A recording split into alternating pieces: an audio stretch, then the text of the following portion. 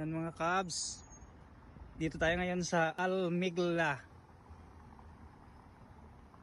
Almigla Mall, Riyadh. Ito yung pinaka old na shopping center dito sa Riyadh. Siguro mga nasa 80 years old na. Dito makikita yung pinakamalaking plug. Yan o.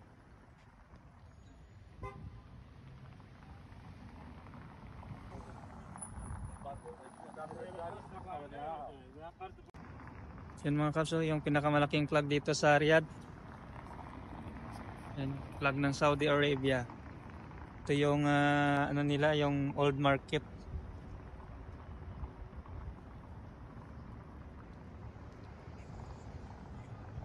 Ito yan sa sentro. Ito yung pinakaunang market nila dito. Yan o, yung ano, building ng ah, government. Dito ay ah, ito yung harapan niya. Harap- Harapan ng ah, Almigia Shopping Center. Yun makikita nyo maraming ah, nagtitinda dyan sa labas. Na walang uli ito yung harapan papasok sa loob. Yan maraming mga tao ngayon kasi ah, wala pang pasok ngayon. Holiday pa, Sabado pa ngayong araw. Yan. Kaso lang marami dito mga babae. Yung pumupunta kasi mga pambabaeng damit. At pagpasok mo ito yung bubungan sa'yo sa loob. Yun mga ganda ng design nila dito. Makikita mo mayroong mga tindahan ng mga relo, gold shop, mga perfume. Yan siya. Dito tayo sa second floor mga kabayan. Yan mga relo yan, shades, tsaka yung ayan o, relo, watch center ng Riyadh.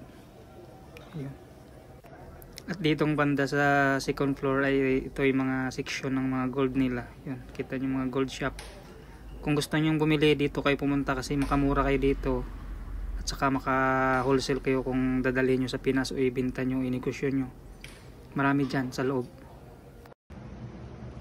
Yan ang mga gold plated na mga gamit pambahay. Yan nagyan ng buhor. Iwas na natin sa patula. انا خلي خفيف طلع لي زي ما كده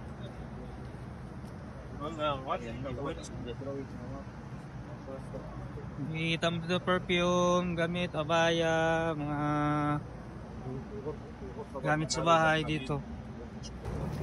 Dito rin meron silang ah, mga upuan para sa mga driver o sa mga kasama na naghihintay sa kanilang mga kasama sa loob o mga amo. Yan, pwede kayong umupo dito.